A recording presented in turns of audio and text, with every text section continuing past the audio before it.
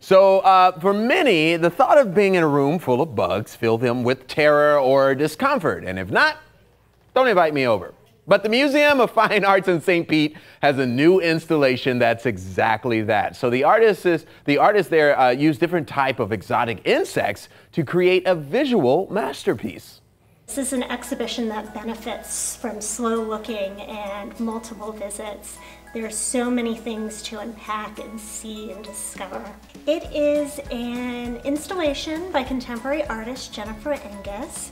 It is unique to this exhibition space, so when it leaves, it will never be seen in this iteration ever again. Jennifer constructs what she calls insect wallpapers, which is using exotic dried insects to create these phenomenal larger than life designs uh, which really draw you to noticing the beauty of these creatures, their colors and the delicacy of their wings. Jennifer's practice is to go into the museum she's working with and really explore their collection, not just what's on view, but what's in storage, and find something that inspires her.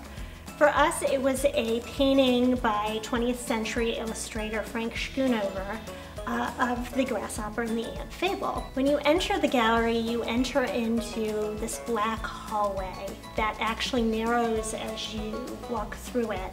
And this is to set you up to really appreciate the scale of the big gallery. It's a very immersive experience and one of the things she really wants you to take away is to just notice how beautiful these insects are and really reconsider how important they are to our environment. They are important, they are beautiful, yeah. they're dead. The installation yeah. has about 5,000 insects. That's a lot. Pretty amazing. Yeah. All right, I'm gonna try to get this right. I remember this from third grade. Okay. All right, it's a bug's life, but it's like a little trivia question. All right. There's only one insect that can rotate its head. An owl. The praying mantis. I hope my third grade science teacher, Mr. Veet, is not watching yeah, yeah, yeah. right now, but I think that was it. I so he can turn his head all the way around? Yeah, the praying mantis, they kind of, you know, they check things out. Yeah. You know, but other bugs, they, they can't do it.